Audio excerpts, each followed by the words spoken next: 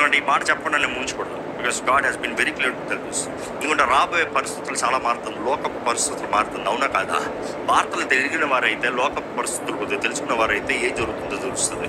ప్రపంచం మొత్తంలో యుద్ధానికి సిద్ధపడుతున్నారు. దేవుని ఆలయం కట్టబడటానికి you know there is a preparation going on అంత్యక్రీస్తు ఆత్మ ఎంతో ముమ్మరంగా పనిచేస్తూ ఉంది. దేవుడికి విరోధ శక్తులు ఎంతగానో పనిచేస్తూ ఉన్నాయి. అంతే దినపు సూచనలు కనబడుతూనే ఉన్నాయి. అంధకారం ఎక్కడ చూసినా ప్రబలతనే ఉంది. కరువు ముందు వస్తుందనేది ముందే వార్తలు చెప్తున్నారు. కరువు కాలం వస్తుందంట తెలుసా?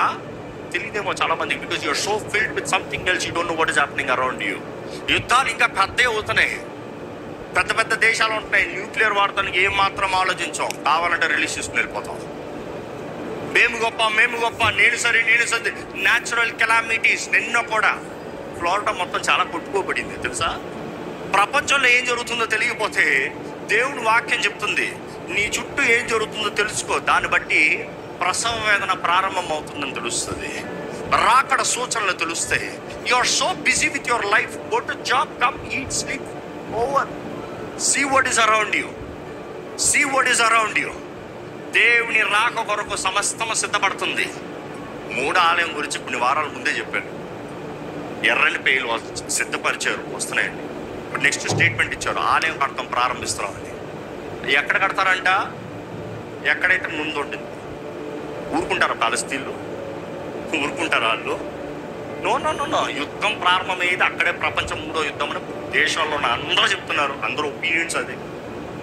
అంటే అక్కడ లేచిందందుకు ఇప్పుడే కొత్త ట్రీటీ వీళ్ళిద్దరు రాసుకున్నారంటే యుఎస్ ఇజ్రాయెల్.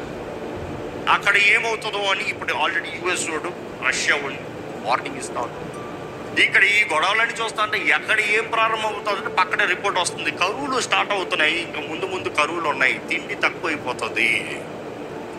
ఎన్ని కలవరాల్లో మీరైతే ఇంకా ఏదో దేవుడు చెప్పేది ఏంటి తెలుసా? నీ ముందు కరువు రావచ్చు. భూకంపాలు రావచ్చు. తుఫానులు రావచ్చు. వరదలు రావచ్చు. నేను ఇంకా దేవుడినై ఉన్నాను నేను ఇంకా సింహాసనం మీద కూర్చున్నాను నీవు నన్ను నమ్మితే నేను నిన్ను కాపాడే దేవుణ్ణి. నా రెక్కల కింద నేను ఉంచుతా. అందుకనే దేవుడు ఈ మాట చెప్తున్నాడండి నేను సమాధానం ఇస్తాను నా ప్రజలకి. ఆయన బిడ్డలకి సమాధానం